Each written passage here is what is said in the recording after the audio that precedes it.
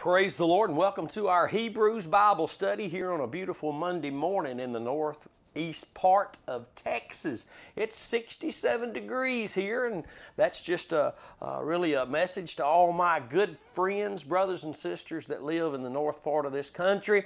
We were just there last weekend and it was cold and snowy and, and today it, here in the piney woods of northeast texas it's supposed to be sunny this afternoon and 70 degrees praise god there's lots there's jobs and homes and all kind of good things we're just waiting for you to come be a part of this good weather praise god Hallelujah to the Lamb of God. Great to be in my office with you this morning, here live on the Pastor Curtis Facebook page. And everything we do will, after it's been broadcast, be uploaded to the YouTube channel, Curtis Hutchinson 316 and the website, thecrosswaychurch.com, and also on the Spreaker app you can get on your phone is the audio. You can follow me along there, get alerts when I go live, and uh, we just praise the Lord. This is Hebrews chapter 1, part 10 today on this 25th day of January 2021. Let, just let me say how uh, encouraged I was from, from the service yesterday here at Crossway Church. The worship, the word, the response of the people of God to the Word of God. And even those who watch abroad, we just are so appreciative and thankful for you, your participation in the worship service, even if it's online. You're hearing God's Word, worshiping with us, and learning to grow in the, in the very truth of God's Word, expanding and prospering in our hearts. And I praise God for that. We believe the Lord is coming very soon, probably this year. And, uh, and I'm thankful that I can uh, be found looking for Him by the grace of God and learning of Him in the scriptures, praise God. And we're just so excited again. This is part 10 today of Hebrews chapter 1. And I pray that as we go through this teaching today, God would touch our hearts in such a way that the Word of God would move us. When faith comes, that His faith would move us into a place of better living, a place of better responding, a place of better fruit bearing in our lives. Maybe you need a touch in your physical body today. I pray that as we uh, point to the very power of God's Word, the power of Christ, which is what He did at Calvary, that the Lord today would touch your body and bring you to a place of wholeness and healing and recovery, that today would be the day that you find the healing power of the Lord Jesus Christ at work in your life as He rebukes those very spirits of infirmity that have tried to attack you and, and, and cause their prosperity in your body. I pray that today would be the day that God's Word would find a place of prosperity in your heart and the will of God carried out for the magnification of the name of our Lord Jesus Christ and, the, and, and for our Heavenly Father to be glorified. Today, today, today is the day. Hallelujah. Expect big from a big God today. Hallelujah. Hallelujah. So, Hebrews chapter 1, verse 9 says, You have loved righteousness and hated iniquity. Now, this is prophetic of the Lord Jesus Christ, quoted from Psalms chapter 45, verses 6 and 7. Let me read that to you because the writer of Hebrews, let's get it right this morning. The Holy Spirit reaches back from the book of Psalms, the great psalmist, the, the, the, the those words that Jesus said were concerning Him. The scriptures are about Him. The volume of the book was written of Him. He told the two disciples on the road to Emmaus that the law, the prophets and the Psalms were concerning him. He spoke of himself throughout all the scriptures, and that's what we need to allow the Holy Spirit to teach us Christ. Hallelujah. We need to allow the Holy Spirit to teach us Christ in the scriptures, for it is His faith that comes and his faith the apostle paul said that we live by in galatians 2.20 praise god psalms 45 verses 6 and 7 is where the holy spirit reaches back to bring old covenant type and shadow into the reality of the person and the work of Jesus Christ at Calvary. Watch this Psalms 45, 6 and 7. Your throne, O God, is forever and ever. The scepter of your kingdom is a right scepter, that scepter of righteousness. You love righteousness and hate wickedness. Therefore, God, your God, has anointed thee with the oil of gladness above your fellows. That's powerful, isn't it, this morning? It, it, because he loved righteousness. He is our King of righteousness, and he loved righteousness, the Bible says, and hated iniquity. And now we need to talk about that just for a moment because if the more we love righteousness, the more we will hate iniquity. And the Bible says that the fear of the Lord is to hate evil. But listen, we can't hate evil properly unless we're loving righteousness properly. Oh, we need to get a hold of this this morning. The, the strong delusion that the, that the Lord will give those uh, who, who are rejecting Him. Listen to what Second Thessalonians chapter 2 verses 10 and 11 say. And with all deceivableness of unrighteousness in them that perish. Who are those who are perishing? Those who think that the preaching of the cross is foolishness. Because they receive not, it doesn't say because they receive not the truth. Get this now. Because they receive not the love of the truth, that they might be saved. It's a, it's a love for the truth that moves us into a love for righteousness because it's through the truth that righteousness is revealed and experienced, not just initially becoming righteous, but daily bearing forth the fruits of Christ's righteousness. Get this now. They received not the love of the truth. Do you love the truth? Or do you love their singing?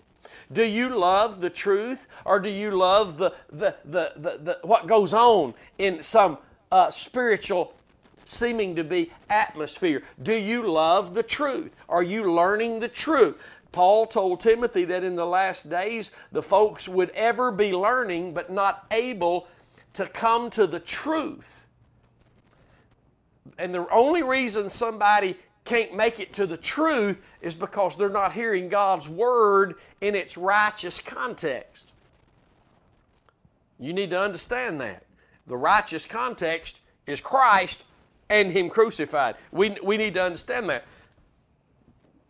But they, they, they, they're given strong delusion that they'll believe a lie, the Bible says, because they receive not the love of the truth. A love for the truth is a love for righteousness. And going that direction, my friend, is a hate it, it's a hate for iniquity. And we need, we need to understand that. I, I have some things written here. Love, the Bible says, in the last days will wax cold because iniquity is abounding.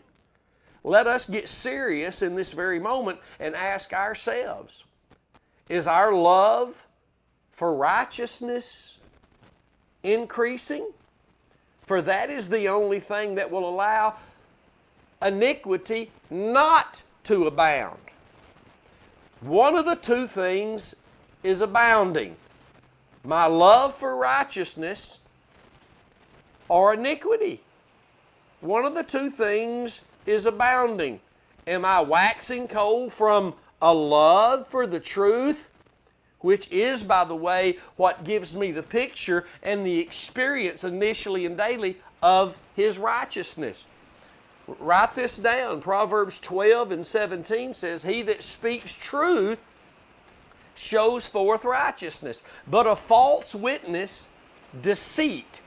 Deceit is something that has an appearance to be right, but it's not right. It's, it's, it's, it's what the Bible differentiates between the bread of life and the bread of deceit. There is a there is a table that Satan and his ministers, and sometimes that be Christian ministers who are under his influence. Come on now, it's just the way it is. Who are who are putting the bread of deceit on the table. What, what, what would be a good example of the bread of deceit? The, the minister putting something on the table and telling you if you do these three things, then you will find the deliverance of God. You will find, maybe they're telling you, you'll be saved by God, or, or you can carry out the, the, the, the fruits of righteousness if you do these three things. It, it moves our faith away from Christ and His doing, His work, finished work at Calvary, to what we're doing now. And make no mistake about it, we are called to walk in good works, ordained to them, but they're in Christ. So we must know what it means to walk in Him. And the Bible says in Colossians 2 and 6, as we have therefore received Him, and we received Him exclusively by faith in what He did on the cross for us, like so are we to walk in Him. So when we move our faith from the cross to the government of 12, the purpose driven, the, the walk of Emmaus, the words we speak, the money we give, the, the things we, anything we do moves it from Christ's righteousness being imparted in and through us through the fruits, through our faith in His cross, to what we're doing. And again, as we said in, at the onset of this session, it's either Christ's righteousness or it's self righteousness. It's so easy. So the bread of deceit is what's put on the table, table that has a picture, shows you something, but it's not righteousness. Righteousness can only be seen as we look to the cross, for there is no other place it comes from to make us righteous, to robe us in His righteousness, for us to be able to, by His Spirit, carry out daily the fruits of His righteousness. Would you take a little homework assignment today? Would you get your pen, your pencil, your paper, or uh, get ready to copy and paste into? I want you to take these two scriptures today, and I really pray the Lord would show you at, at a greater, more in depth look at what I'm saying right now. Isaiah 32 and 17 says, The work, Isaiah 32 and 17 says, The work of righteousness is peace. The work of righteousness is peace. Christ in Colossians 1 and 20. Here's your other verse to, to put down, to look at both of them and to let the Holy Spirit rightly divide these scriptures in your heart. Let, let the Holy Spirit find ground to, to, to engraft this into your soul.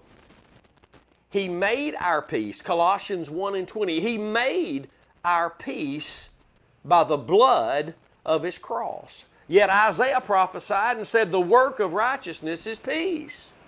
But the work of righteousness for our peace was the shedding of the blood of Jesus. You hear that precious rain falling out there? Oh, it's falling in here too on the hearts of those God has been able to bring back to this path of light, this path of righteousness, this way of the cross that the Bible calls the holy commandment, 2 peter 2 and 21 don't forsake it. Don't turn away from it. It's the only path god has set before his people the way of righteousness. Uh, psalms 85 13 says that righteousness went before him that it might set us in his footsteps. Glory be to god.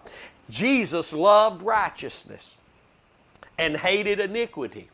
And you and i if we're not learning to love righteousness then we're not going to have a more and more hate for iniquity. And my friend, I'm not talking about a hate for the iniquity that's out in the world and taking over the world, and, and we just sit back and say, I just can't believe this is happening to our nation, and I can't believe this. I look and I see, I look and I see, it's just so evil. No, my friend, this is talking about you and me.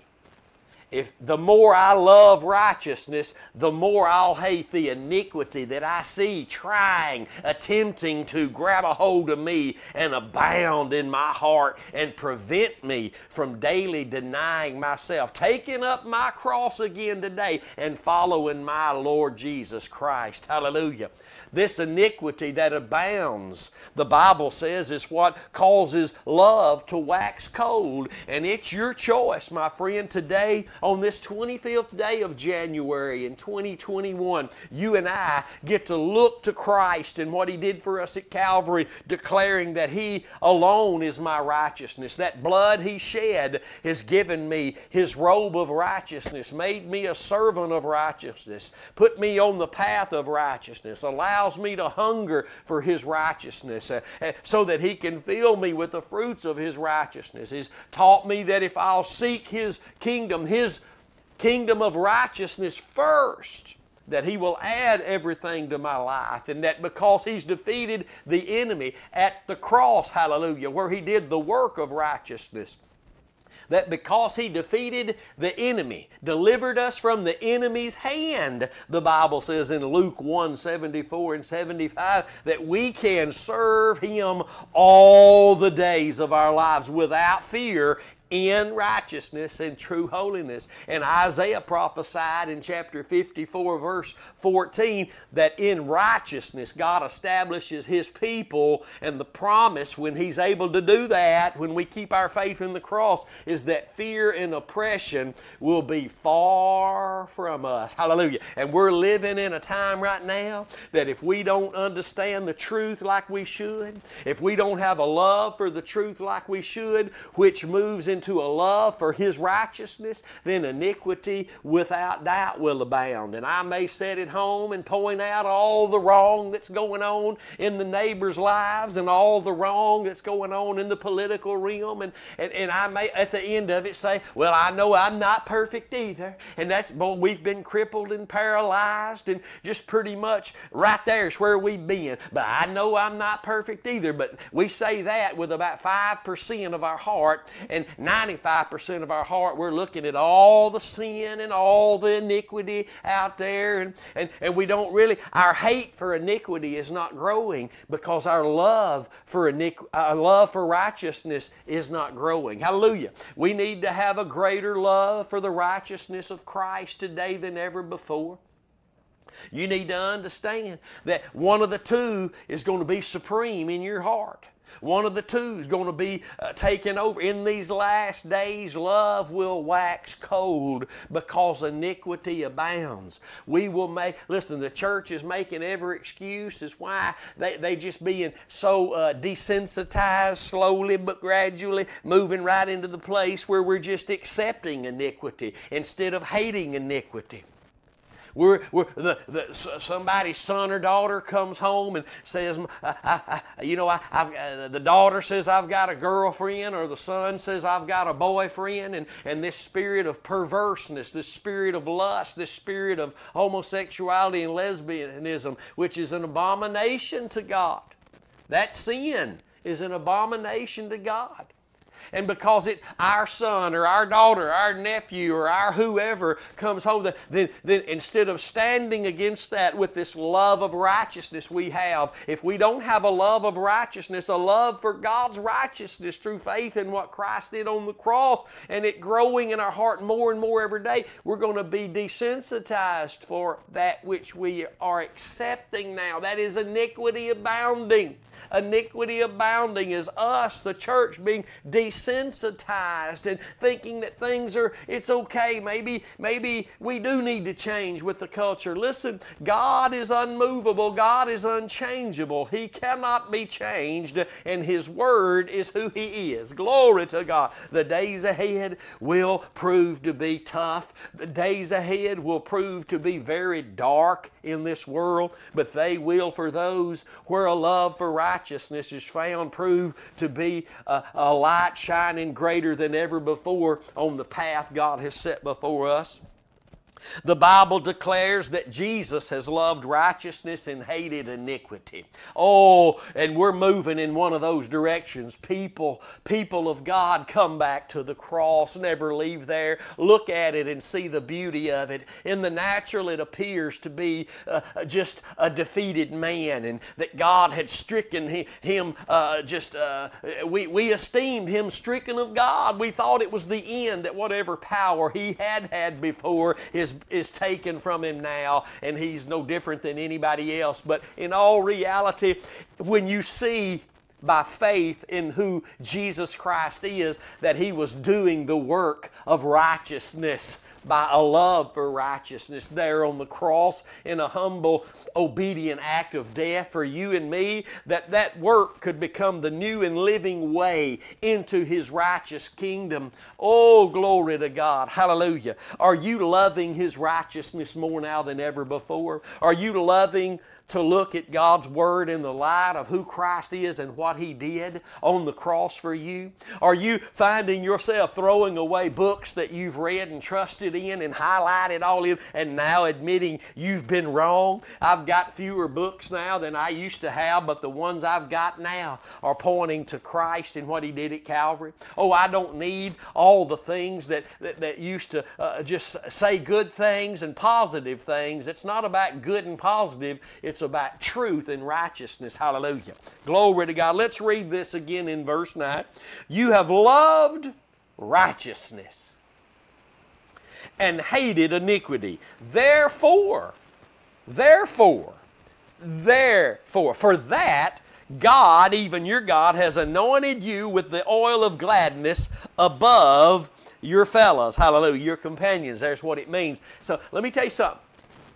Those who God is able to bring back to their first love, back to faith in the cross alone, and ridding themselves of all the object of faith that our flesh has lusted after and drawn us away to as we were, were, were, were lured into by our own flesh now. By our own flesh, we were lured into these traps the Bible calls the fear of men, wanting to fit in, wanting to find a social place, wanting to try to find this must be it. And, and in all reality, we were sincerely looking for what would move God, not knowing that it was the cross that moved Him to move, to be able to move into our lives, to be able to begin that good work in us, to be able to, to, to work the work of the Holy Spirit in and through our lives through that work of righteousness at Calvary. Are you loving Jesus and what He did at Calvary for you more and more and more every day? Or are you one who is still haven't quite come to the conclusion that the cross is really the answer for all things? Well, uh, God forbid, the Bible says, God forbids when the Apostle Paul says, God forbid, he means the Holy Spirit was speaking through him, telling him, God forbids that we boast in anything other than the cross of Christ, through which I'm crucified to the world and its iniquity, and it unto me. And now I'm alive to God in Christ Jesus, my righteous King, who, if allowed to continue the good work in me that He began upon my initial faith in His righteous work at Calvary, will carry it out even to the day that He comes for me. Glory to God. I don't want to be found with a stained garment as the church in Sardis was found in Revelation chapter 3. I, I don't want a, a, stained, defiled garment. I, I want this garment of righteousness to, to be unstained. And sin is not what stains our garment of righteousness. What stains our garment of righteousness is trusting in something other than the cross of Christ by which we, through which we received the garment of righteousness. So let's look at this now. You've loved righteousness. Speaking of Jesus here, this, this, the Holy Spirit uses this letter of Hebrews to exalt Jesus over the angels, to exalt Jesus over Moses and all that's been carried out before he showed up as the Redeemer. That's what this letter is about. That's why slowly eh, eh, but surely he makes it to the point of, of even pointing out uh, that Jesus is after the order of Melchizedek, we read about in Genesis, that, and that this priesthood is greater, and it's a new priesthood, which he talks about here in, in the book of Hebrews. And it's so wonderful to be learning of Christ, not, not of men, but learning Christ in the Scriptures. Hallelujah. He says, Because you've loved loved righteousness and hated iniquity, even your God has anointed you with the oil of gladness above your fellows. This gives us a, a, a, a picture also of when the Lord says today, This is the day the Lord has made, let us rejoice and be glad in it. If you're looking unto Calvary, my friend, you're not waiting on just the right physical feelings. You're not waiting on just the right financial things to happen. Listen, if you love God's truth and God's righteousness, then you're going to be glad today. I don't care what bad takes place. It might make us feel bad, but overall, listen, within that feeling bad over what we see and what we have to deal with, no matter what it is, there is a gladness of heart excuse me, there's a gladness of heart that comes with loving righteousness. It's more, you, are not going to get this gladness just because you go to a church. You're not going to get this gladness of heart just because you put money in an offering plate. You're going to, listen, this gladness of heart takes place by the Holy Spirit makes me glad. Glory to God. In spite of everything else, when I'm loving righteousness, when I'm believing the truth, He's speaking to me, trying to guide me into. Jesus said, when the Holy Spirit comes, He will speak the truth and guide you into all truth. Well, listen. Remember Proverbs 12, 17. Write it down. Let your eye look upon the wonderful words of life. He that speaks truth, that's what the Holy Spirit speaks. He is truth, 1 John chapter 5. The Holy Spirit is truth. He speaks truth. He will guide us into all truth. And the picture that shows to us through us hearing truth properly is His righteousness. He that speaks truth shows forth righteousness. This is the righteousness of God. This is the righteousness of Christ that is shown in truth. If we're sitting under a minister or listening to a minister who's putting the Word of God out there for us to hear, if it does not give us a picture of the righteousness of Christ, uh, that means the fruit of our faith in His work at the cross, then our love for righteousness is not going to grow because our faith is in something He's telling us to do, to try harder, to, to do these three things, and, and, and, and to not really, eh, you know, they, they will point, direct you away from those preachers who preach the narrowness of the gospel. Let me tell you something when they get to heaven, if they make it, they're going to have a good talk with Noah. Hallelujah. Noah let them know how narrow it was. And this way is very narrow. And God's not excluding anybody from it, He's calling all to it. His loving kindness draws all of humanity, but it's only the blood that draws us near. Jeremiah 31 and 3, God's loving kindness is drawing all, even though most don't know what it is. But Ephesians 2.13 tells us it's the blood of Jesus that brings us near to God. Hallelujah. We need to know that. Mm powerful this morning. Great broadcast. Love the Bible study. I believe God is going to impart some meat to the hungry of heart.